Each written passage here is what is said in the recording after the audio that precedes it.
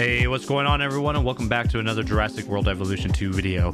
Today we are taking a look at all the patterns and skins for the Corythosaurus. If you are enjoying the content, please hit that subscribe button and turn on notifications, leave a like, and leave a comment down below on what set of patterns and skins are your favorite.